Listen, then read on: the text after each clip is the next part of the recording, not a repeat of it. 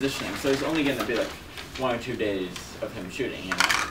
And it's going to cur- bleh. it's going to be someone else. I know, but if we say, all right, we're done with that take, Asher, go behind that tree, and honestly, well, I know, but it could be different days too, you know. Like, because yeah, yes, we we're definitely not shooting this whole thing over one day. No, I'm saying like throughout him, like it might change seasons while it's still him before it transitioned to me, you know.